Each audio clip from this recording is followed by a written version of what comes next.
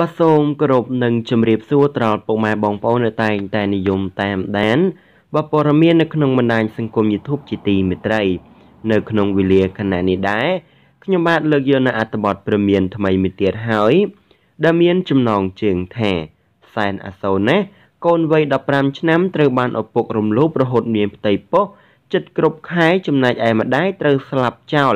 យ៉ាងគួរឲ្យសង្វេគទៀត។ តែមុននឹងឈានចូលត្រខ្លឹមសារនៃអត្ថបទខាងក្រោម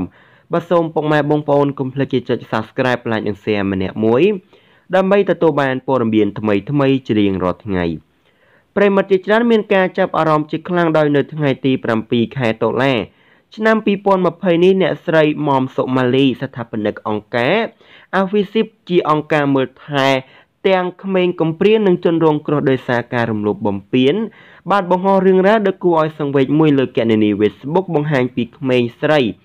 ដ៏គួរឲ្យអាណិតម្នាក់ត្រូវបានឪពុកបង្កើតរំលោភរហូតមានផ្ទៃពោះជិតគ្រប់ខែទៀតជាស្ដែងអ្នកស្រីបានសរសេររៀបរាប់រឿងរ៉ាវទាំងអស់នោះថាខ្ញុំមកដល់មណ្ឌលហើយនៅឡាយបេះដូងខ្ញុំមិនទាន់ត្រឡប់មកវិញទេថ្ងៃនេះ បន្ទាប់ពីទៅយកជនរងគ្រោះដោយឪពុករំលោភហើយលោកបាទលឹមវណ្ណាប្រធានការិយាល័យសង្គមកិច្ចនិងសុខបកមាលភាពសង្គមនៅស្រុកព្រៃឈរខេត្តកំពង់ចាមក៏បាននាំបាននាងខ្ញុំទៅសួរសុខទុក្ខក្មេងរងគ្រោះម្នាក់ទៀតខ្ញុំពិតជាមាន បាទខ្ញុំពិតជារកពាក្យនិយាយមិនចេញមែនពេលទៅដល់ផ្ទះតូចមួយដែលត្រុតត្រោមត្រូវគេចាក់ដីបាទ លិចចណ្ដើស្ទើរអស់ពាក់កណ្ដាលនាងតូចម្នាក់រត់មកជម្រាបសួរខ្ញុំ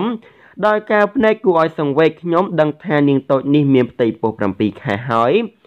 អាយុទៅតែ15ឆ្នាំត្រូវបានជលជន់ខលខូចលួងលោមបោកប្រាស់យកខ្លួនរហូតមានផ្ទៃពោះតែអ្វីដែលខ្ញុំសង្វេគនោះគឺនាងជាកូនកំព្រាម្ដាយស្លាប់ចោលបាទត្រូវទួតពីការយកមកចិញ្ចឹមចិញ្ចឹមតាំងពីតូចមកម្លេះ យាយចៅទាំងពីរនាក់រស់នៅពឹងលើបងប្អូនឲ្យបាយញ៉ាំខ្ញុំចេះតែគិតមកតាមផ្លូវថាតើជីវិតនាងនឹងទៅជាយ៉ាងណាទៅនាងមានកូនក្នុងផ្ទៃចិត្តគ្រប់ខែអាយុទៅតែ15ឆ្នាំហើយត្រូវមើលលោកយាយពិការទៀតគិតមិនចេញមែននាងអាចចេញចោលលោកយាយបាទសំទោសនាងមិនអាចចេញចោលលោកយាយដែលខិតខំមើលនាងពីតូចបានទេ នាងត្រូវមានកិច្ច បើមើលលោកយាយនាងមែនហើយខ្ញុំធ្លាប់តែពូកែជួយជនរងគ្រោះបាន តែពេលនេះពិតជាមិនមានដំណោះស្រាយមែននៅមានរឿងជាច្រើនទៀតដែលពិបាកនឹងនិយាយថ្ងៃនេះខ្ញុំពិតជាអរគុណលោកបាលឹមវណ្ណាដែលលោកមានបេះដូងល្អបាទអញ្ចឹងសម្រាប់អត្ថបទព្រមាននេះក៏មានតែប៉ុណ្ណឹងហើយក៏សូមអរគុណសម្រាប់ការតាមដានរបស់ពុកម៉ែបងប្អូនតាំងពីដើមរហូតមកដល់ចប់ខ្ញុំបាទសូមអរគុណសូមគោរពលា